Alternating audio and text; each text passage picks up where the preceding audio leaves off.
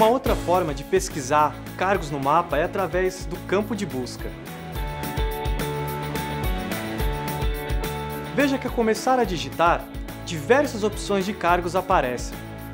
Eles aparecem exatamente como as pessoas escreveram. Por isso, nós vemos cargos com nomes diferentes, mas que são similares no mercado de trabalho, como este aqui ou este. Mas também pode acontecer de você começar a digitar um cargo e ele não existir. Isso acontece porque não tem currículos suficientes na base de dados, que tenham escrito o cargo do mesmo jeito e migrado de cargo. No menu do mapa, você vai ver uma breve explicação sobre o que é o serviço.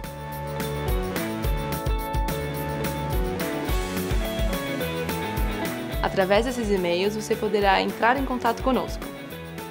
E pode compartilhar nas redes sociais usando os ícones do Facebook, LinkedIn, Twitter e Google+. Viu como é fácil?